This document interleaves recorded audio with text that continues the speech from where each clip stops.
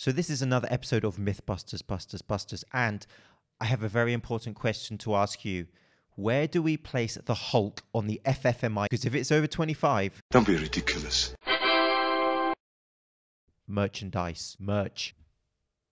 Buy my merch. And so, a quick message to the fan people threatened by the information on this channel your feelings don't debunk science.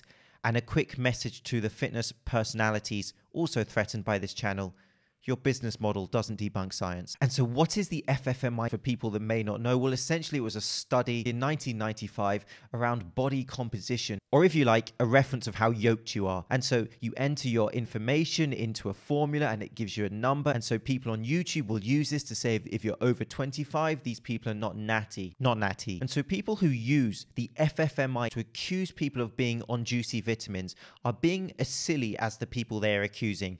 That is a twist ending. I channeled my inner Tarantino with that sentence. And I'm going to bring normality to this hot mess of the FFMI by referencing Greg Nuckols and also Eric Helmsman, who are steering the ship for common sense when it comes to this issue. Come on, that was a pretty good pun. The researchers who conducted the study themselves said that this study should not be used as the gold standard for determining natty status. It should be more of an initial screening type process where further work is needed based upon it. These findings must be regarded as preliminary and subject to several possible methodological limitations. Yeah, that. And so instantly you can start to see how people on YouTube who use the FFMI so definitively to determine natty or not status is perhaps not the right way to go. And so I want to be clear I have no problem with people making videos about this topic. In fact, those videos are highly valuable as they help consumers understand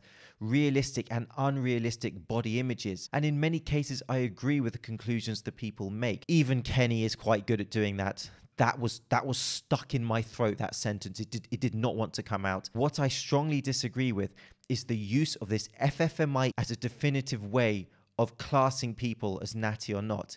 It's just pure nonsense, not natty. And so, as a quick overview, not only is the research so severely flawed in itself, the application of this natty limit, this definitive natty limit with no nuance or variability allowed, this set in stone number, can be extremely damaging to people who are accused of this based on this number. In fact, this study is so problematic. It's super problematic. And the other problem with this whole concept is as much as we can know from training experience and knowledge that people may be tricking the system. For example, if you have someone who's in their early 20s who's only been lifting for a few years, who's deadlifting over 600 pounds and is ripped with large muscles, for sure we can know that something funky is going on. But unless you have hard evidence, again, it can be really problematic to actually accuse people. And so I'm going to reference a great article by Greg Nuckols, and instantly, this is what he has to say about the idea of a natty limit. In fact, I think proposing a limit is wrong headed in the first place, since human traits tend to be normally distributed. That's why I've always addressed this question probabilistically. That was easy for me to say. Instead of using black and white terms, probability assessment isn't as exciting as simplistic and wrong black and white thinking, but it's the more rigorous and intellectually honest way to approach this question. Again, the idea of absolutes, black and white statements, does not encompass the variability involved with humans, with the way our body physiology reacts to training and nutrition. There's a lot more to it than set in stone numbers. And so, the first limitation I'm going to tell you is that body fat percentage, which was a key basis of this study for the participants, was attained by looking at photographs. They eyeballed photographs to determine body fat percentage for certain participants. Natty, not natty, au naturel, unnatural, spinach. Our calculations for the Mr. America winners are based on body fat estimates from blinded examination of several photographs of the individual. These methods are certainly prone to a degree of error you don't say. You'd be totally entitled to disregard this section of the study entirely as it doesn't live up to literally any reasonable scientific standards. Natty.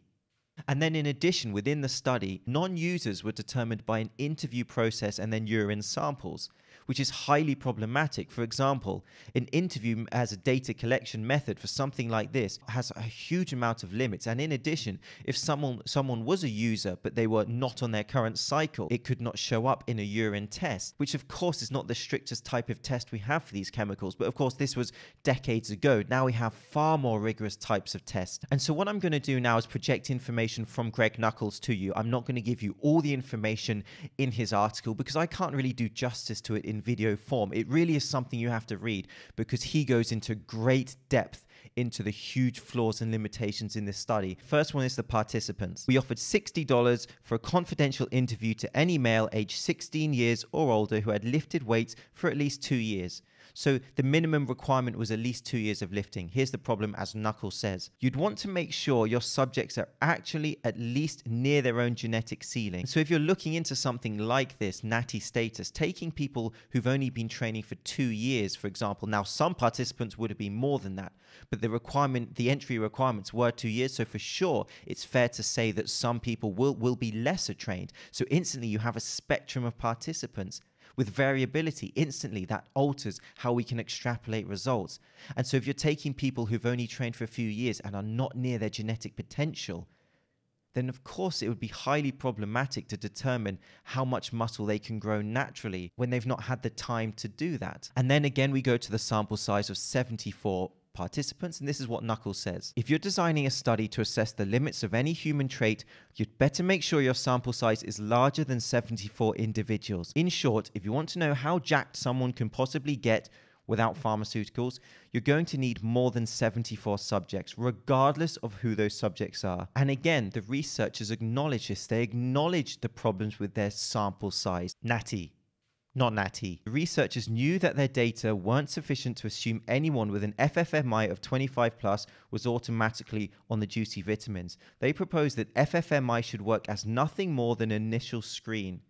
If someone has a really high FFMI, that just means there may be sufficient reason to do a blood or urine test for the juicy vitamins. And another point that Nuckols makes is there was a not there was a natty person in the study who was above 25. And therefore, due to this anomaly, the researchers then created a new cutoff level based on a correction. However, the researchers acknowledged that the correction they, that they were unhappy with the correction they made in the research. Essentially, there are so many problems. It's endless with this study. And then there's a brilliant article by Dr. Eric Helms in the Alan, Alan Aragon Scientific Review, where he again discusses the history of pharmaceutical use in bodybuilding. And again, it highly pours question on the content of the research in this FFMI, which says that that within a certain date these people were natural, when actually Eric Helms shows how that's an extremely flawed chronological timeline. There are so many problems with this research. It's not it's not nitpicking. It smacks you in the face. And if you want the real depth, go and read the articles I've talked about. And so I very clearly want to say that the FFMI is not the indicator for natty status. We need to stop using that. We need to put it to bed. And so I'm James Linker. I'll see you soon.